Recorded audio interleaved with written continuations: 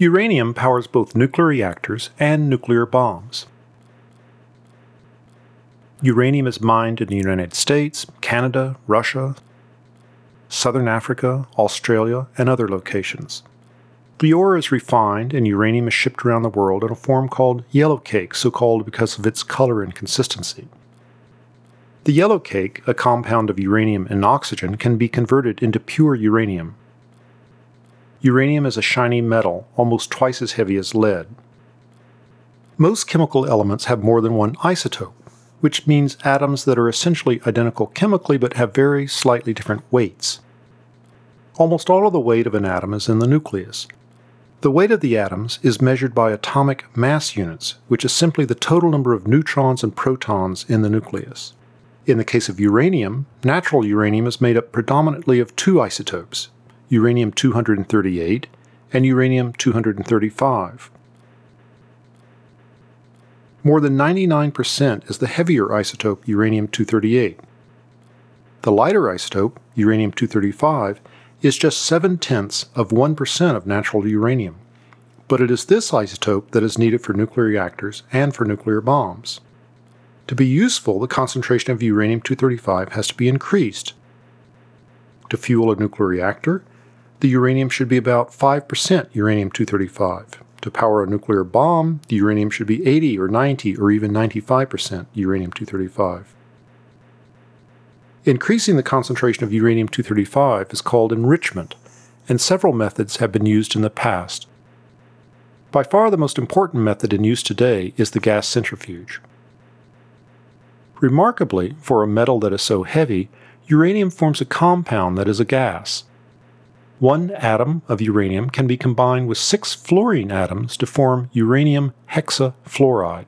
At room temperature, uranium hexafluoride is a white crystalline solid, but if heated just a bit, it forms a gas. Fluorine is unusual because it has only one isotope. Every atom of fluorine weighs exactly the same. So any difference in the weight of the uranium hexafluoride is due to differences in the weight of the uranium. And that small difference, less than 1%, allows the two isotopes of uranium to be separated using a centrifuge. The heart of gas centrifuge is a long hollow cylinder called the rotor. Rotors are between 1 meter and 4 meters long and between 10 and 30 centimeters in diameter. Either end of the rotor is capped. The rotors are always mounted vertically so they won't sag under their own weight. The rotor is held in place by bearings at the top and bottom. Just below the rotor lie magnetic coils, and the coils and the bottom of the rotor together form an electric motor. When power is supplied to the coils, the rotor begins to turn, and it turns very, very fast. The rotor may be turning tens of thousands of times per minute. The outside of the rotor can be moving faster than the speed of sound. To reduce the friction with the air, and to protect the surroundings in case the rotor flies apart, each centrifuge rotates inside of a steel casing. Most of the air between the casing and the centrifuge is pumped out, leaving a near vacuum. The rotor is spinning so fast that the g forces near the outside can be a million times stronger than gravity. This force can be used to separate mixtures of heavy and light materials, like separating cream from milk. If some uranium hexafluoride gas is put into the rotor, the concentration of the slightly heavier uranium 238 will be slightly increased near the rim, and the concentration of the lighter uranium 235 will be slightly increased near the center of the rotor. This effect is tiny, but there's a trick to greatly increase the degree of separation. If one end of a pan of water is heated, the water there rises and cooler water comes in to replace it, setting up a convection current. The same thing will happen if one end of the centrifuge is heated. Keep in mind that up in this case is toward the center of the centrifuge and down is toward the rim.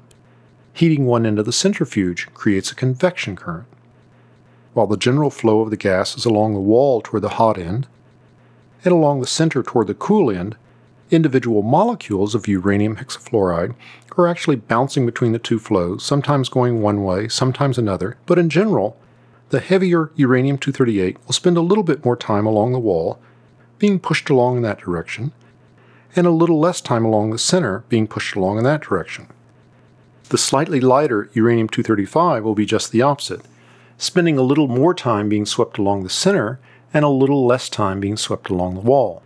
This means that the heavy and light uranium separates not between the rim and the center, but between one end and the other, with the heavy uranium 238 collecting at the warm end and the lighter uranium 235 collecting at the cool end.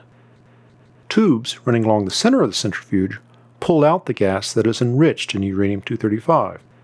Of course, gas taken from the opposite end is now slightly depleted in uranium 235. One centrifuge doesn't separate very much uranium, and it doesn't enrich the uranium very much. To get more throughput, many, sometimes thousands of centrifuges are operated in parallel. To get the necessary enrichment, the output of one set of centrifuges is put into another set of centrifuges for further enrichment.